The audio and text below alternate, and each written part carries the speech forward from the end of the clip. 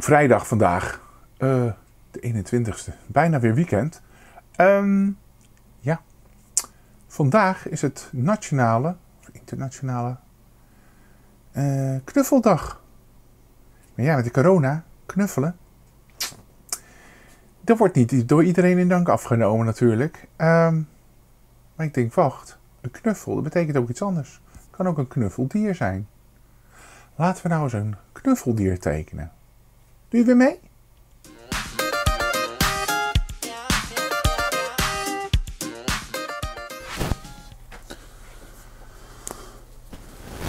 Ja, een knuffel.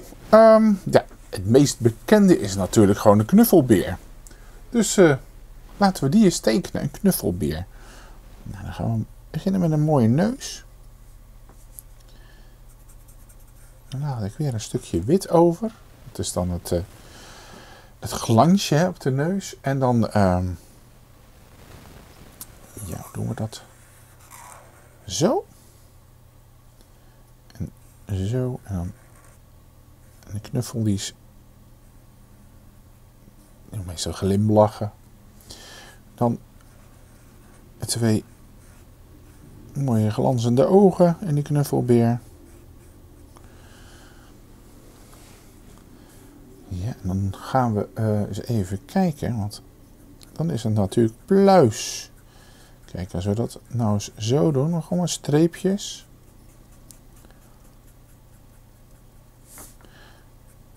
We gaan dan zo langzaam rond.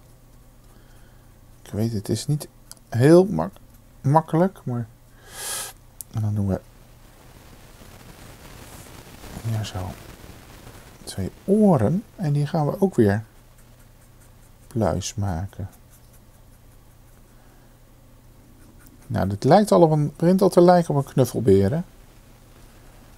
Tenminste, ik vind dit al een, uh, best een aardige knuffelbeer. Nou, dan gaan we dat lijf, dat zijn natuurlijk ook uh, pluis. Zo. Dus één poot. Even kijken dat je aan de andere kant een beetje gelijk houdt.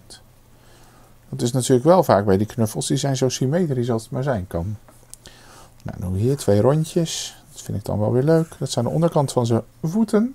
Of poten. Het is maar wat je wil, hoe je het wil noemen.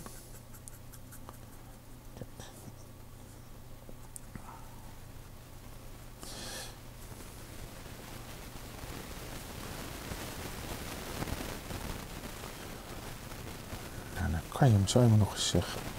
Zo'n buitje kunnen geven met een. Dat is gewoon een komma op zijn kop. Dat zou dan zijn navel kunnen zijn. Nou, ik vind dat wij zo'n hele leuke beer hebben. Een hele leuke knuffelbeer. Je ook nog kunnen kiezen